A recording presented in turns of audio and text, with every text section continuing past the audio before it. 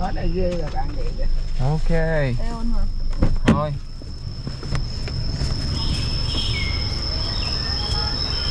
Rồi đi săn đi cậu.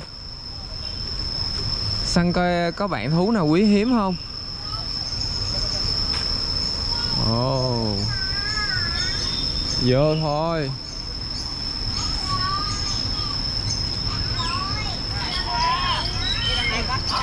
bây giờ mấy anh chị mà vận chuyển thú mà không có giấy tờ là sẽ bị bắt hết.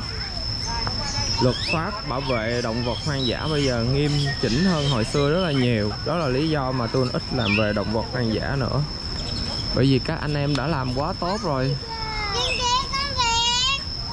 Con